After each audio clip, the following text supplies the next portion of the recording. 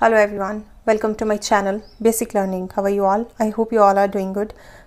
Eminent personalities of Himachal Pradesh के बारे में करवा रही हूँ इससे पहले बाबा कांशीराम जी के बारे में करवा चुकी हूँ और श्री भागवत सोठा जी के बारे में मैं करवा चुकी हूँ प्रीवियस वीडियोस में आज हमारी थर्ड पर्सनालिटी है Shri Ramlal Thakur second chief minister of Himachal Pradesh रहे means after Y S Parmar पहले तो वाई एस परमार जी ही बनते रहे but after Y S Parmar अगर किसी का नाम आता है तो वो श्री रामलाल ठाकुर जी का आता है चलिए टू थ्री लाइन्स है, देख लीजिए इंपॉर्टेंट है।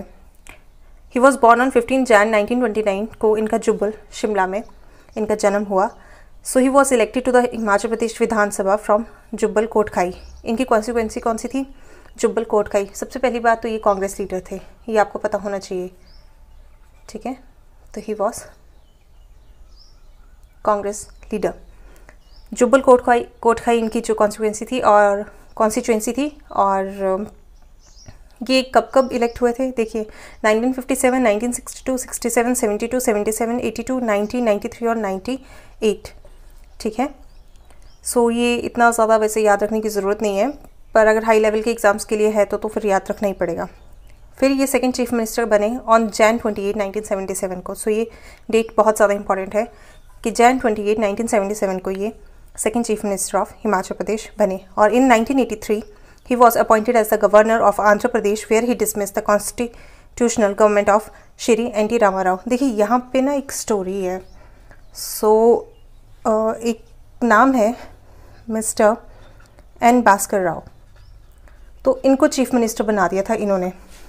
तो उस टाइम पे एन टी रामा राव जो थे वो यूएसए में थे। ठीक है उनकी कुछ सर्जरी चल रही थी।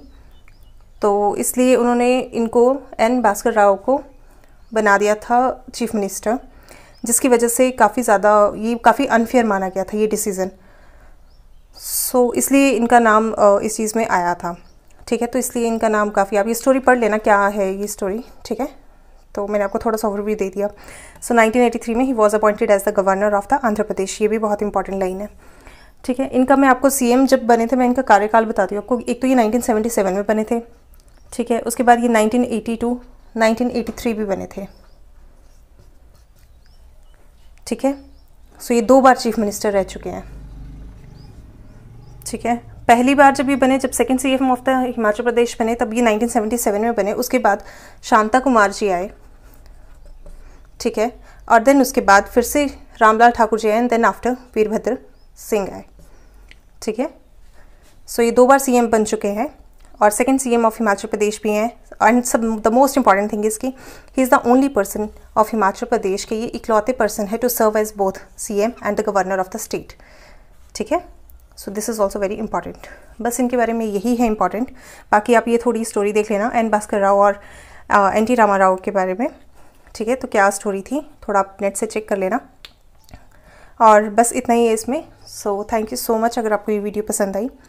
सो मैं नेक्स्ट वीडियो किसी और पर्सनालिटी पे लेके आऊँगी, ठीक है? सो आई होप आपको ये वीडियोस पसंद आ रही हैं। Do comment and like my videos please subscribe ठीक है? So thank you so much पढ़ते रहें, खुश रहें.